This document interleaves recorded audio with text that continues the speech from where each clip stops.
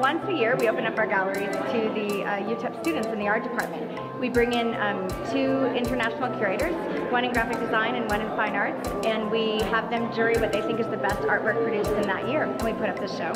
So this is, right now, this event is the uh, student art exhibition. It's a jury competition between students that have uh, been selected from the art department.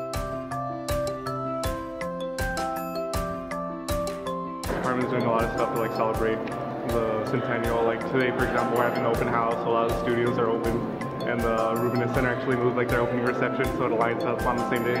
So hopefully, we'll have a lot of people like coming from the community to help celebrate the centennial, like see what the art department does. was uh, with great honor uh, accepted into the student art exhibit, even though I'm a science student. They had an interdisciplinary category, and my painting biofilm one was accepted. UTEP is a place where you can get a first class education, and our students are starting to take advantage of opportunities outside of the El Paso Juarez area. And it's exciting to see that um, when they do that, that they're valued and they have great success and they come back and um, really re energize the program.